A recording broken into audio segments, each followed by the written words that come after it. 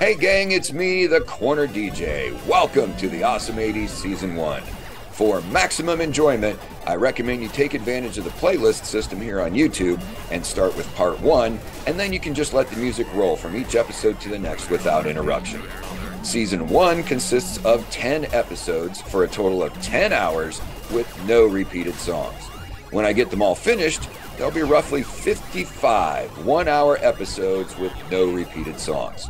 Of course, that's assuming YouTube's copyright classification system is working correctly. Your mileage may vary. So, what is considered the 80s?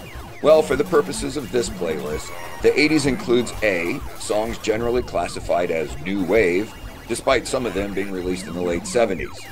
B, the pop hits of the 1980s. And C, the occasional song from another genre that was so popular it deserves inclusion.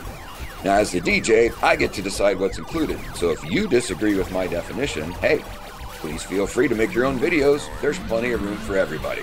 Over the course of time, I'll continue to release subsequent seasons of the awesome 80s, but you'll also see some other stuff pop up as well.